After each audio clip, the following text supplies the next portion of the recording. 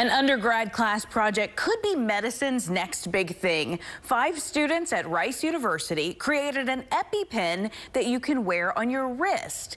This way, the medicine is always accessible for people with allergies.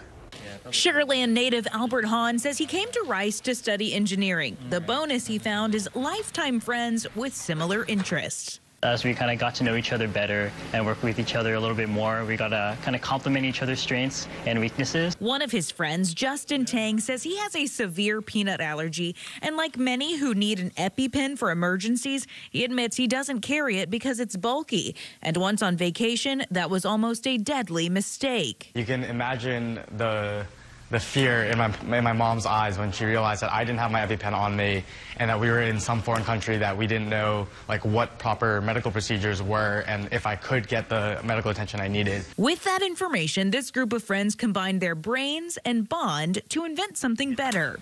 An injection device so portable it could fold in three pieces, fit inside a watch, and from that, EpiWear was born. That was a very, I guess, exciting moment for us because coming from scratch, we didn't actually expect anything to work.